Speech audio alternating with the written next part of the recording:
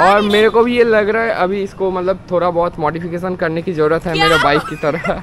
तो आज ज्योति को मॉडिफाई करने के लिए जा रहा है गाइस है तो मेरा आज तो मोटा खर्चा हो गया ज्योति के पीछे।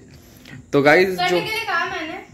तो गाइस ला मतलब करवा के तुम अब बोल खर्चा हो गया बार बार मत बोला करो पैसा दो मेरे को। मैंने तुम्हें नहीं बोला है। मेरे को पैसा दो।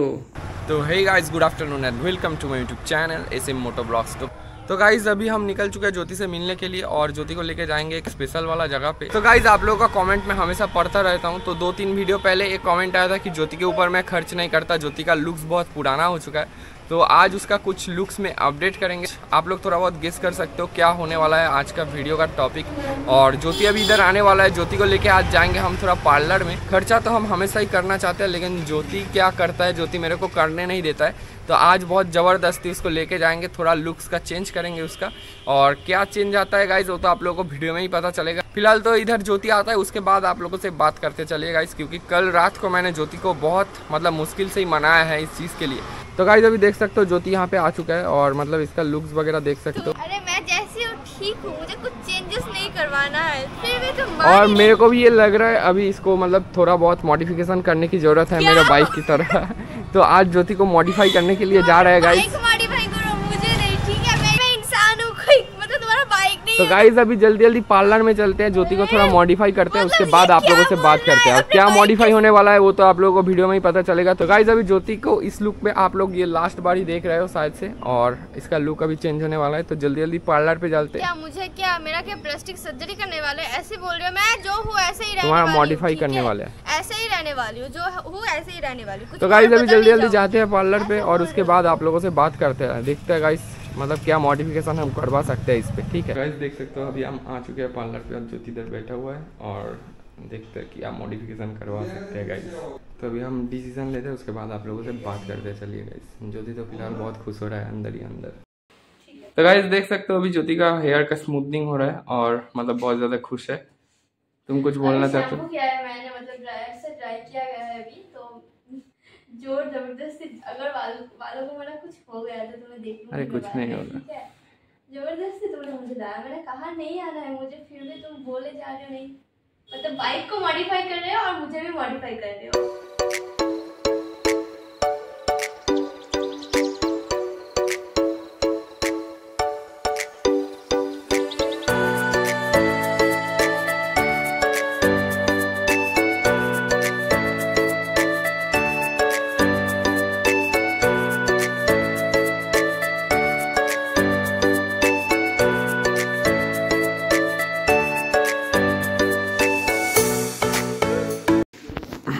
गाइस देख सकते हो अभी ज्योति ने किया है स्मूथनिंग अपने बालों पे।